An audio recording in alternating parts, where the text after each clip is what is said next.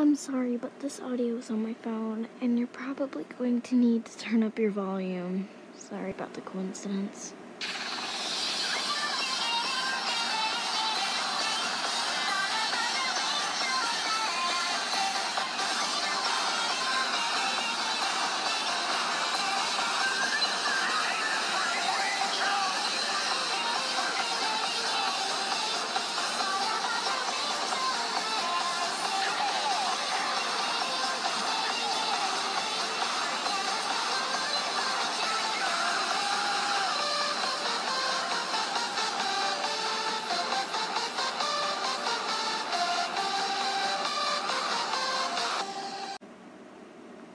Ha ha ha!